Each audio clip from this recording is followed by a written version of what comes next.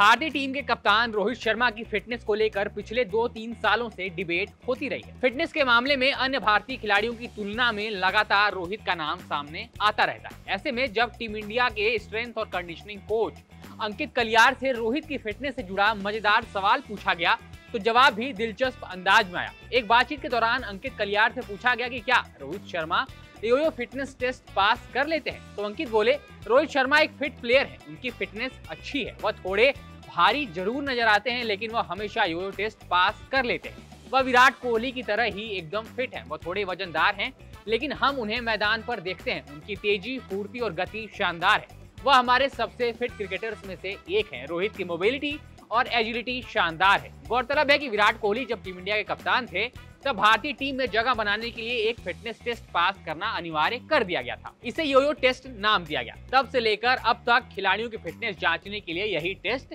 इस्तेमाल किया जाता है। आगे अंकित कलियार कहते हैं, जब बात फिटनेस की होती है तो विराट कोहली सबसे बड़े उदाहरण होते हैं। टीम में फिटनेस कल्चर वही लेकर आए थे। जब टीम का टॉप प्लेयर ऐसा फिट होता है तो बाकी खिलाड़ियों के सामने भी उदाहरण होता है। जब तक वह कप्तान थे तो उन्होंने सुनिश्चित किया कि टीम के सभी खिलाड़ी फिट रहे। टीम के चयन के लिए उनका टॉप पैमाना फिटनेस ही था। भारत के सभी खिलाड़ी आज इतने फिट है, उसका सबसे बड़ा कारण विराट कोहली ही इस पर आपका क्या मानना है? हमें कमेंट सेक्शन में ज़रूर बताइए। अगर आपको वीडियो पसंद आई तो इसे लाइक करें शेयर करें और स्पोर्ट्स से जुड़ी तमाम खबरों के लिए सब्सक्राइब करें हमारे channel sports live ABP live को।